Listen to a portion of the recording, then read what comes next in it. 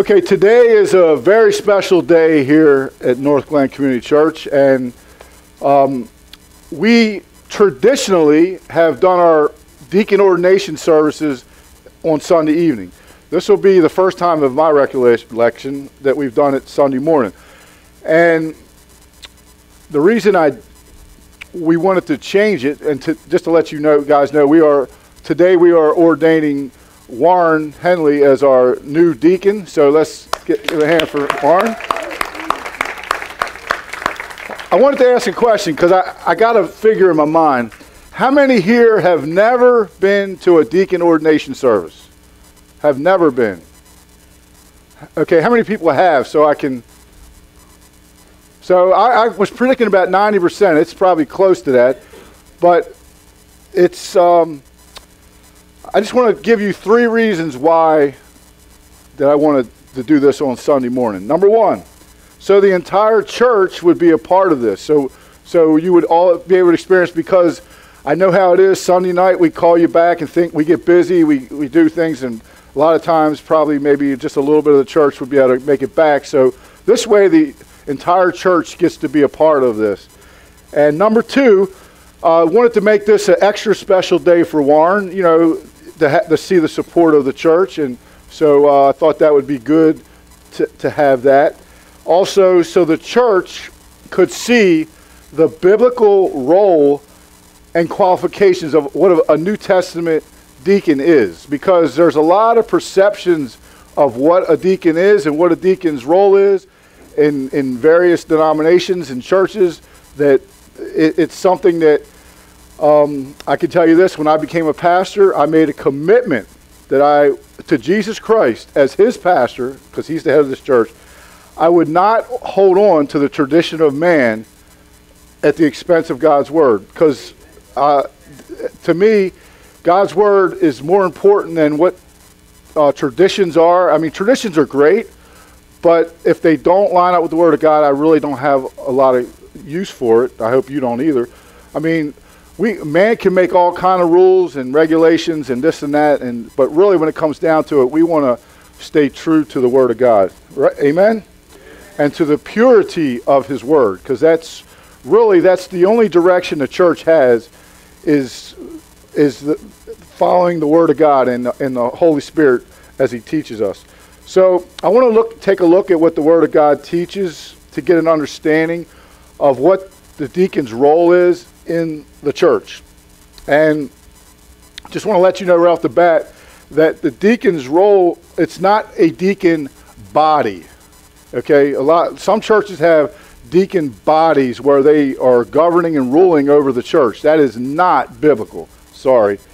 Um, they are ministers of mercy, and you're going to see that in in God's word. They are ministers of mercy, taking care of the poor, and the needy, and also a huge part of the job is assisting the pastors and the elders of the church. That, that's a, a big part of it. It's not a deacon body overseeing the church, but a deacon ministry assisting the pastors to help the needs of the church, to meet the needs of the church, and and and and just doing it the biblical way. And the deacon ministry is very, very important. Very, very important. And I want us to open our Bibles up, or you can look on the screen to Acts 6, chapter 6, 1 through 4. And many scholars believe this is um, the birth of the deacon ministry. I'm going to read the first four verses, then we're going to pray. Or how about let's pray, then read the word? How about that? So we can open our eyes.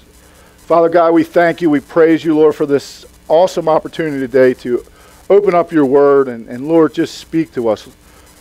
As your, as your awesome, the song, Word of God Speak, Lord, speak to us today, Lord. Lord, help us to be a church that um, is in just our, our foundation is based on your word, Jesus. You know, we, we want to follow you, Lord, and I want to just thank you, Lord, as I as I continue to study your your word, I, I see the, the importance of your church and and how much you love your church and and Lord, I pray that we have a, a love affair as a body of believers with your church, Lord, our love affair with with each other, and, and most importantly, our love affair with you. Lord, that we would put you number one in our lives, Lord. So, Lord, as we read your word, Lord, let it come alive in our hearts, minds, and our souls. And let it uh, today be the day that we get a better understanding of, of what it means to be a deacon and what it means to um, just support and encourage and pray for our deacons and our leaders in this church, Lord. And we just pray that you just move in a, a mighty, mighty way here. In Jesus' name we pray. Amen. I'm going to read the first four verses in Acts chapter 6.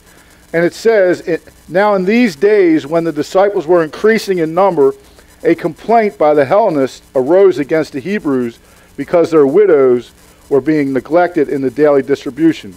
And the twelve summoned the full number of the disciples and said, It is not right, excuse me, it's not right that we should give up preaching the word of God to serve tables. Therefore, brothers, pick out from among you seven men of good repute, full of the Spirit and of wisdom, whom he will whom we will appoint to this duty. But we will devote ourselves to prayer and to the ministry of the word. Okay, looking at verse 1, now, in these days, when the disciples were increasing in number, a complaint by the Hellenists arose against the Hebrews because their widows were being neglected in the daily distribution.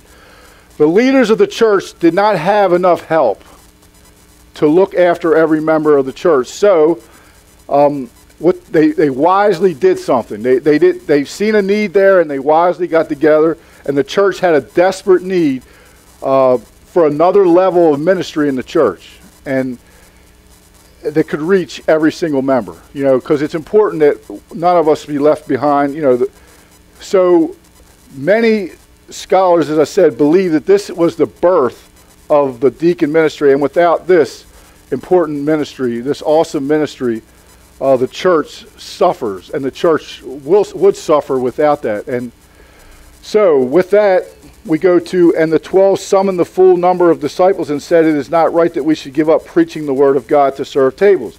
So the leaders were called the, the, the entire church together. They called them together to try to, to uh, acknowledge that there was a serious problem in the church. And the leaders spoke of their primary call and mission was, as it says here, that, that it was give the preaching of the word of God. Okay? So, with this, this is an area where I struggle with as a pastor. I struggle with it because I, do, I, I let myself get involved with too many things in the church. And, and one of the problems is we are in desperate need of deacons in this church. We are in desperate need of deacons in this church. And I'm hoping that today, one of my prayers is today that there's future deacons in this congregation right now that are ready to step up and serve in that capacity. And believe me, the leaders are looking and watching you and always looking for um, leaders to step up. So um, it, it, it's, it's important. And, and my opinion, and this is just my opinion, we should have a minimum of four deacons in this church. A minimum, bare minimum. That should be the bare minimum. Right now, we are at two.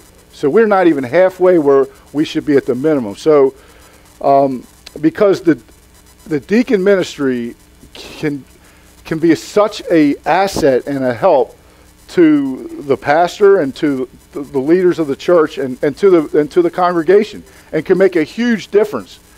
And without that ministry thriving, the church suffers. And so that that's why this is God is really laying this on my heart pretty heavy because I, I'm feeling as a former deacon, I, I, I, still have a deacon's heart, but I understand that how important the role of the deacon is. We're going to get into that a little bit later. But the leaders of the early church suggested that the others be appointed uh, to minister to the needs of the church, which, you know, which, as anybody knows, in this church especially, you know, I say that because there's a lot of needs in this church. There, and I'm sure it's like that in all churches, but I, I see a, a huge need in the churches today.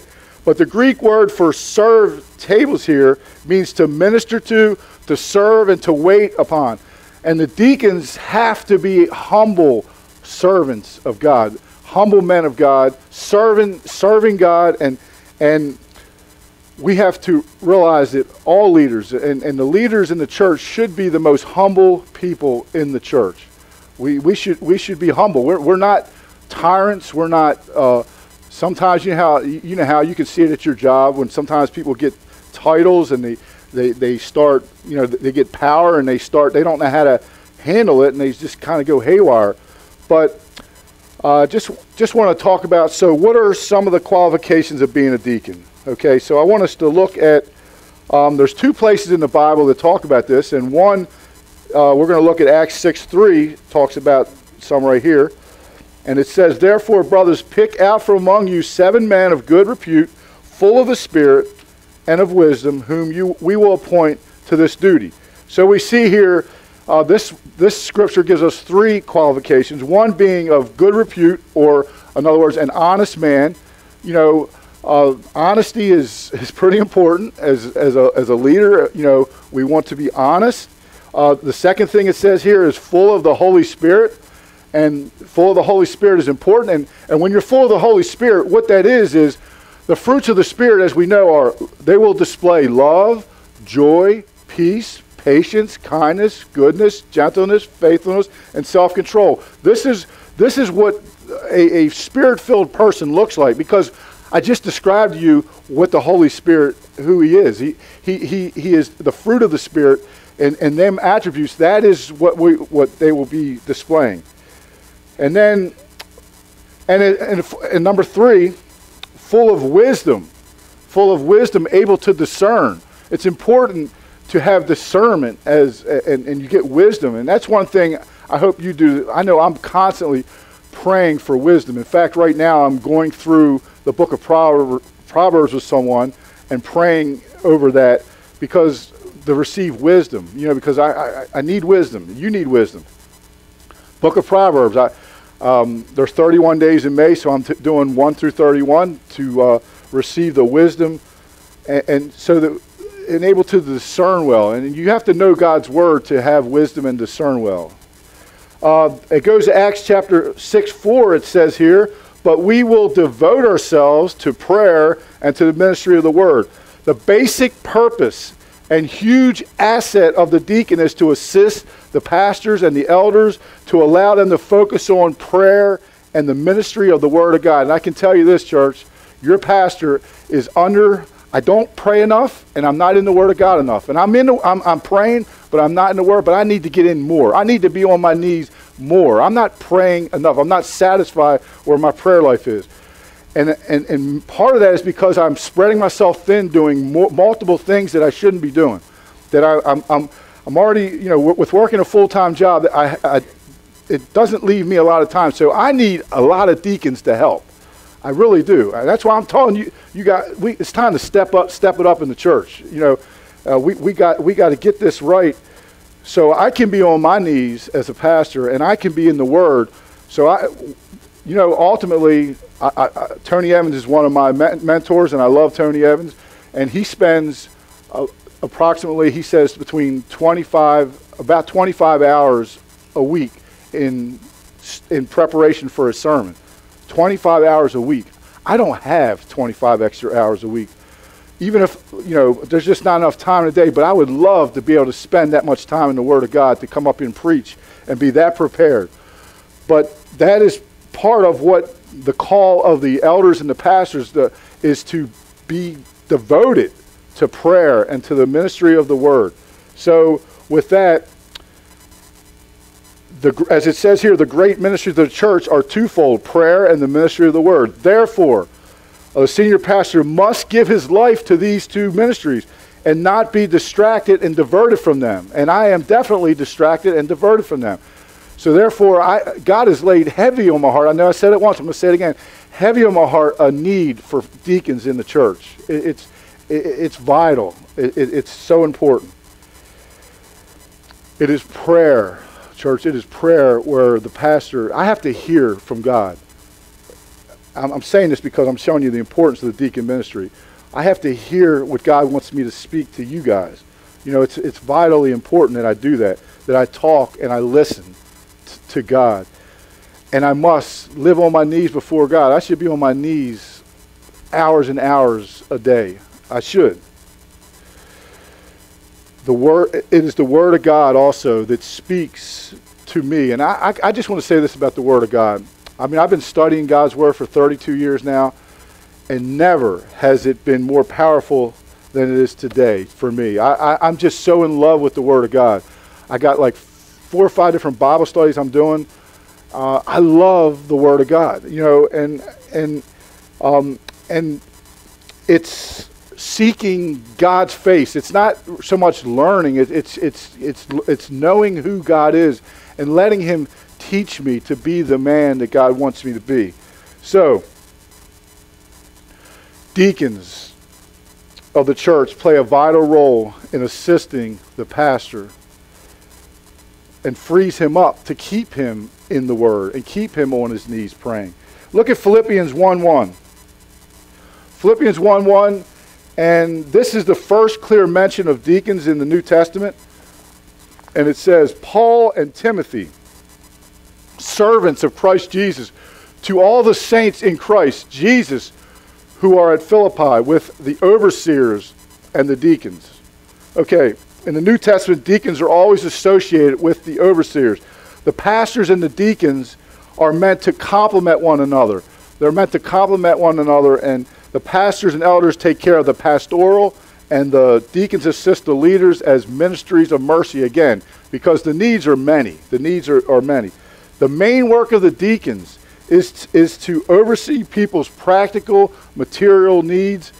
Deacons care for people's welfare, and, and and we desperately need it. And I know this church has got to feel the effects of not having the proper amount of deacons in the church. I know we, I know we feel that. And in many churches, deacons are, again, their own body and sit on the board, executive board and make decisions. That is not biblical. I just talked to, I just talked to a, a deacon last week who came and visited our church. I'm not getting into the details, but I'll just tell you this, that part of the struggles they're having is because of the mismanagement of the deacon ministry. Uh, the deacons are not ruling over the church, and, and, and, and that's just not the way it's supposed to be. It, the deacons are a blessing to the people, a, a huge blessing. I mean, the deacons are, are they serve and support the pastor. I know um, 25 years ago, I was ordained as a deacon in this church. And I loved supporting my pastor. You know, there was one time when I was, one time with the pastors that I served with, that I had a disagreement with one of them. So I took him on the side and I talked to him.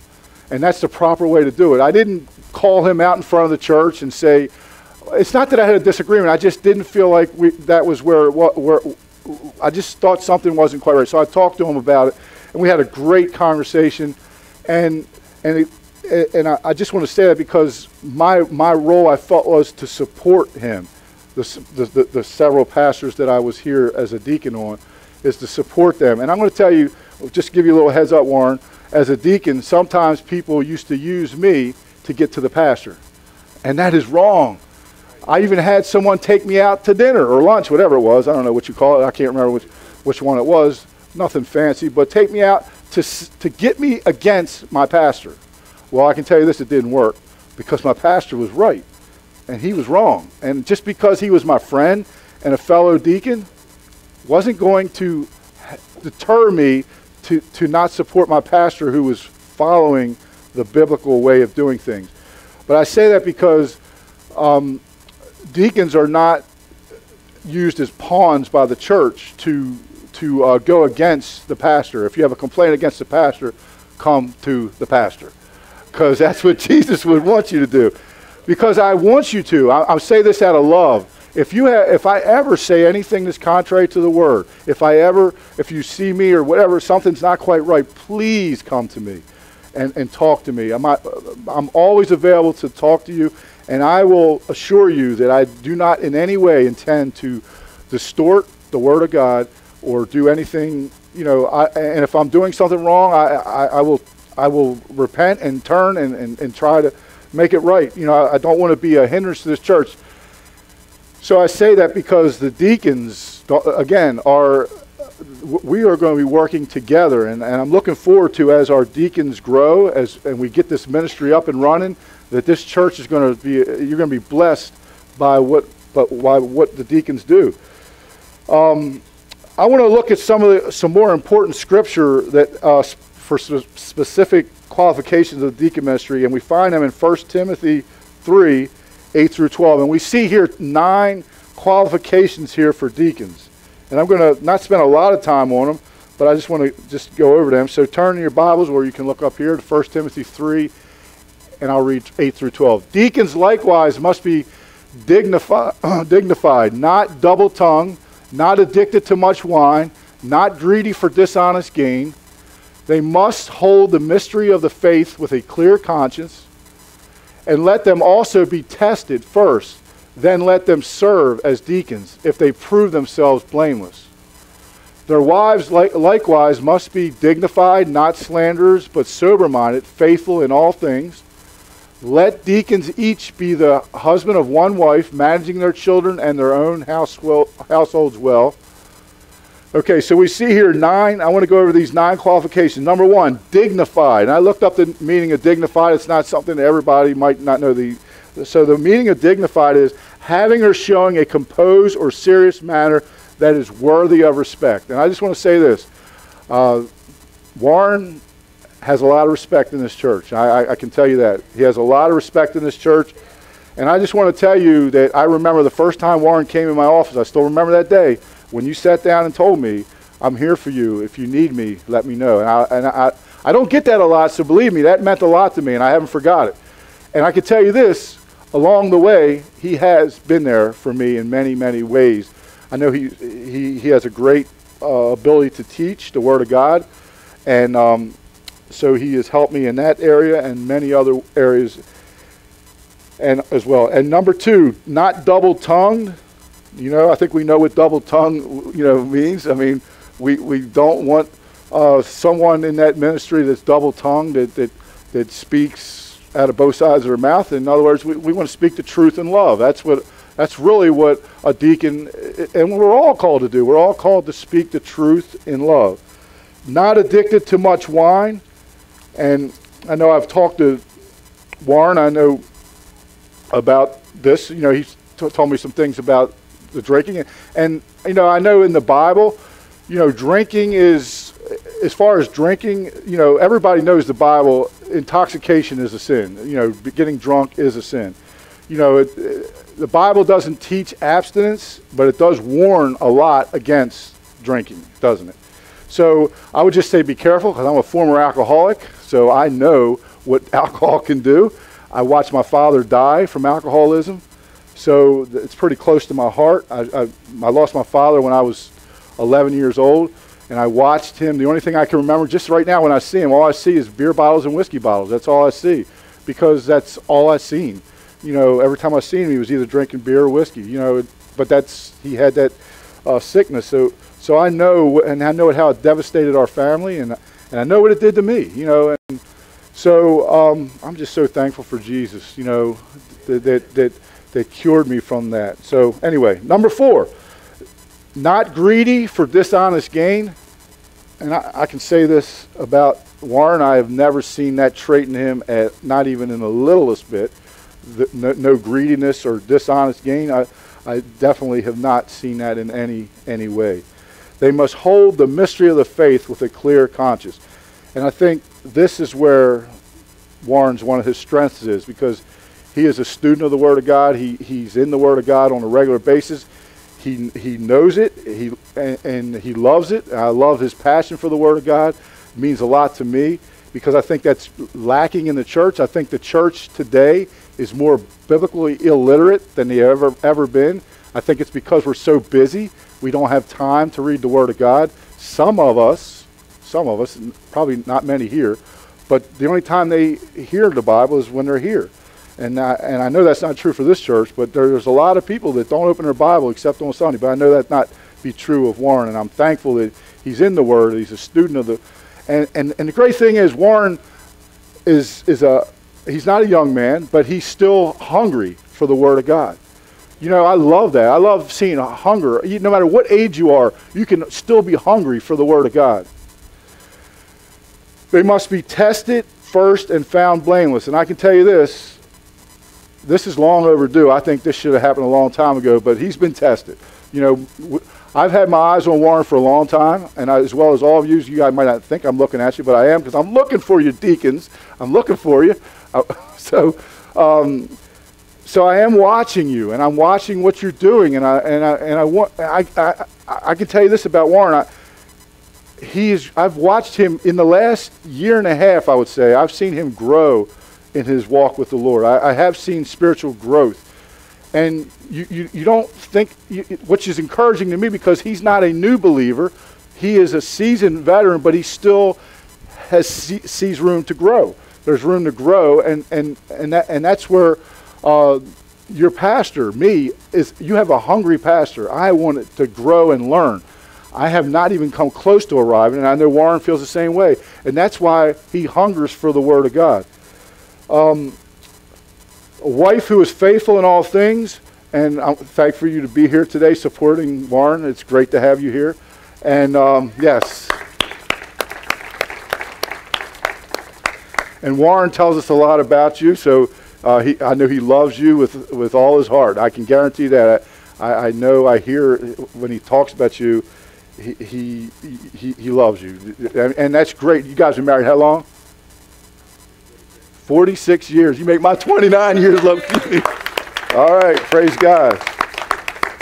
So I know Warren, and now that you're both retired, that you, there's more time to spend together. So um, I, am just thankful that he has your that you you're supportive of him, and um, just because uh, Warren is definitely has a love for this church, and I and and he's also the hu- husband of one wife, 40, 46 years. That's pretty good. You guys have, have definitely been tested. Um, children and household managed well. One of his sons is here, but uh, yes,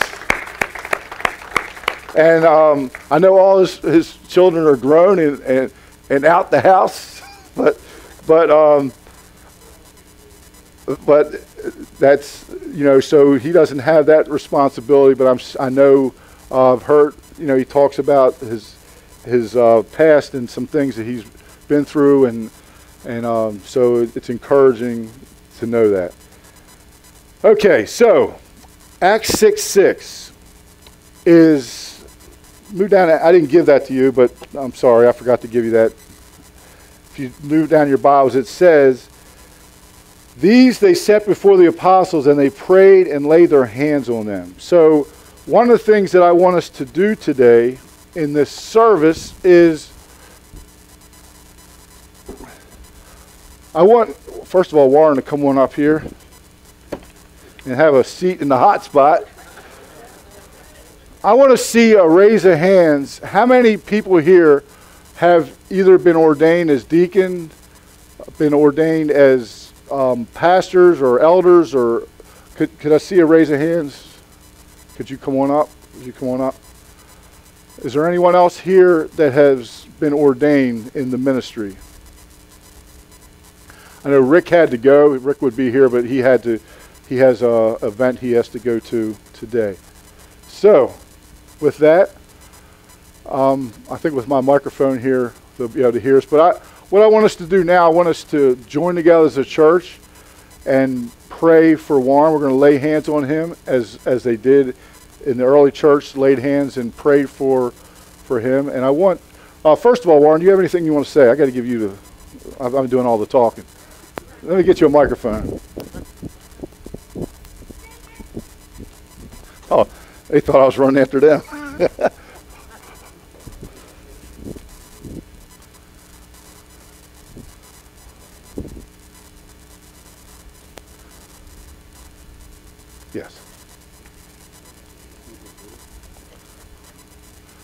Ah, give us a sermon.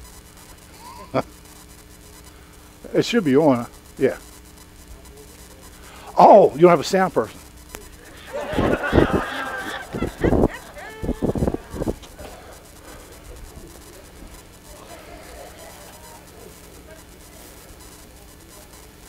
All right, which one is it?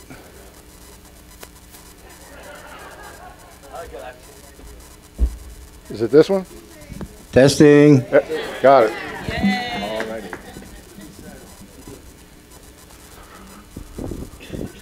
Sorry about that. Well, I don't really much know what to say since I haven't re- rehearsed this for anything. Um, uh, I really don't like being the center of attention. You kind of feel like you're under a magnifying glass, but I've been here for probably at least a decade and seen the church go through many changes, and we all see one another and, and where we stand before the Lord. And like Paul said, the word is of absolute necessity in the church. Without it, you don't know where you're going. And um, I've read and studied the word, word for many, many years. I was saved when I was about 24 years old.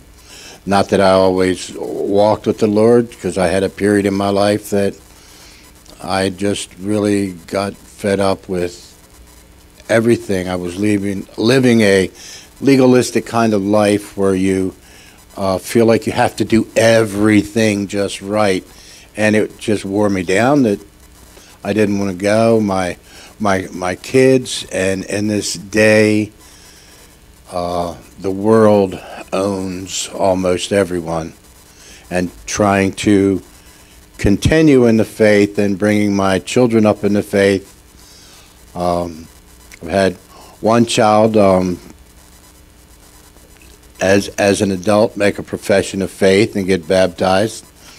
Uh, the other two, I know that they know the Lord, and as far as when they were young, they they were there, but none of them really stay in it. Though I I, I wish they did, and I can't help but feel that I was part of the fault because I didn't totally stay there. But in the past decade or so of my life, I've been in, involved in reading and studying. I've studied with Paul and many other people. I went to Baltimore School of Bible for a little while, and you know, it. I, I just have a passion for it. I love it, and if all of us did it, we would all be better people. Because to have a relationship with the God, with with the Lord, you have to be honest with Him. You have to be in His face, and if you're in His face for very long you know what you look like.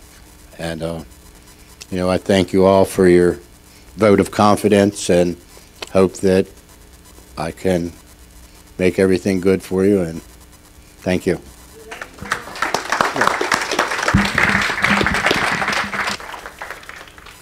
Okay, let's. We're going to join together. Join together with us as we pray over Warren. You can uh, you can stay at your seat if you want. Or you can move up closer if you like. uh, If you want to get close and. Um, okay, you want you want to start? Heavenly Father, praise for this day and for Brother Warren and for the commitment he has for your life and for the church and for under, under, under the families that are here, Father. And more importantly, Father, for his walk with you. And Father, I just pray you strengthen him during this time. And Father, this, I don't care how old we are, we're just babes in Christ. And Brother Warren, Father, uh, I just pray that you guide him as, as, as Pastor Paul uses him and the deacons, Father, to reach out and help uh, take some of the burden. I lift Lo- Brother Warren to you at this time, Father, and his family, and his wife, Father, which is so critical to the service, Father. I just praise your holy name in Jesus' name. Almighty God, I thank you and praise you for this day. I thank you for being here with us, and I thank you Yes, for, Father. for Brother Warren, and, and Lord, I thank you for his dedication and service to you over these many, many years. Father God, I just, I ask that you just touch the Warren. I ask that you surround him with your presence, that you just pour out your wisdom, pour out your discernment upon him, Lord. Lord, just saturate his mind with you, Father, that, that he is always in tune with where you're working and what you're doing, Father. Lord God, I pray that you are always with him and remind him of who he is and how he is saved by grace, Lord. Just empower him, Father, to be the hands and feet of not only you, Lord, but of this church body. And Father, as you have entrusted him as being a deacon, Lord, as being a minister of mercy. Lord God, just stay with him, Father. We need you each and every day, Lord. As this light is getting brighter, Lord, just protect him from evil one. Protect his family, Lord. I just pray that this church celebrates and rejoices with the angels of heaven, Lord, as you have a new mission field for him, Father. I thank you so much for him, and I thank you for his decision to choose to follow you and to do your work each and every day. I thank you. In Jesus' name I pray. Amen. Amen. Father God, we thank you. We praise you, Lord. Lord, we know that you're here with us, your presence, Lord. We don't have to talk very loud because we know you hear our voice, Lord. And we just thank you that we can take this time to celebrate together Warren as uh, deacon of, of your church, Lord, of North Glen Community Church, Lord. We thank you and praise you, Lord, for his dedication and his love to you and his dedication and his love for this church, Lord. He has stood by this church through the good times and through the bad times. And Lord, he has supported me as pastor in the good times and the bad times. And, and I, I'm so thankful for, for him that you've sent him here uh, almost 10 years ago, Lord. And, and I never forget that day when he set me down to tell me that he was ready to serve here at this church. He was ready to give his life for service to your church, Lord. And he has definitely done that through the teaching and ministering in this church, Lord. And we're so thankful and grateful uh, for him. And, and Lord, just pray for an anointing on him, a new anointing, Lord, that, Lord, that even today, his hunger for you would just grow even stronger. His hunger for your word would even grow even stronger. His hunger to uh, be that minister of mercy that you're calling him to, Lord, that, that he would uh, be there for, for those and, and, and just be willing to serve his ch- your church, Lord Jesus. And, and Lord Jesus, we just thank you and praise you, Lord, for this ministry that you instituted in your church, Lord. And thank you that we, we are taking the example of the early church and looking at your word to, to see just what this ministry is all about, Lord. Lord, you left a lot of openings and a lot of different things that, for the deacons to do. Uh, Lord, it's a it's an endless job that is is just there's always needs in your church, Lord, as you know. And Lord, I, I thank you and praise you for uh, him today and just ask you uh, just to protect him from the enemy. Lord Jesus, Lord, anytime, uh, sometimes, not any time, it's all the time, Lord, when, when someone is promoted within the church, Satan wants to, to get involved. So, Lord, we just pray a hedge of protection around him and just ask you to allow him to fight the good fight and realize that Satan has zero, no authority over him in his life that you took all that authority away at the cross, Lord. And Lord Jesus, uh, we just thank you for the power that's in your blood. And thank you that uh, we, we come here uh, in your holy presence, Lord. And, and we just ask you to bless Warren and his family and, and pray that you just uh, allow them to experience your presence. And Lord, that, that today is the beginning of a, a ministry that, that will bring blessings far beyond this world into all the way into heaven, Lord. And we just give you all the praise, all the glory, all the honor. In Jesus' name we pray. Amen. Amen. Okay.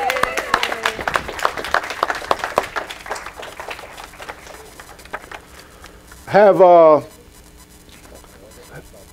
have a a book for you to start reading, and what it is is Paul's vision, not my vision. No, we're going to use this. Oh, We're going to use this to sign your certificate of ordination. We're going to give this to them, but first I want the people that pray to you to sign it. Uh, but this is uh, Paul's vision for the deacons assisting the elders with the care of God's church. So it's a good book to get started into ministry. And for Tony and Ben, please sign this uh, for him. And uh, we will, you know, I didn't get a, um, a what you call it, plaque or, yet but we we can certainly get you one, um, or you can pick it out and we can take care of the cost of it. Either way, but uh, would like to have that, you know, get, get you that too. So with that, we are going to close the service and we are going to, uh, I'll say the blessings over the food. And here's what, what I would ask you to do is let, let the um, elderly please go first. Have respect. If you're young and healthy, you can wait a little bit and let them go first so they don't have to stand as long. Uh, but I would encourage, this is for all the church. You know, you know, it, it, it's like a double celebration. We, we planned this before the deacon ordination service, but it worked out good that we're having a dinner on the same day. So it, it, it's twofold. So we're celebrating our partnership with the school and our new deacon, uh, Warren. So let's let's pray. Father God, we thank you. We praise you. Lord, we thank you for your word. We thank you for this awesome ministry of deacons, Lord. Lord, how desperately we need uh, this ministry in the church, Lord. So, Lord Jesus, I pray that you continue to raise up uh, deacons in this church, Lord, so we can meet the needs of the church, Lord.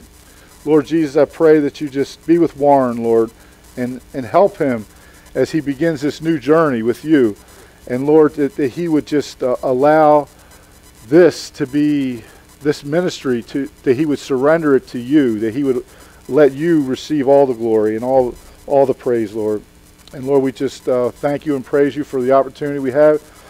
we pray for blessings over the food. We pray that you just help it to nourish our bodies, Lord. And Lord, we thank you for this opportunity to come together to fellowship in your name. We pray all this in the mighty name of Jesus, our Lord and Savior. Amen. Oh, forgot one thing.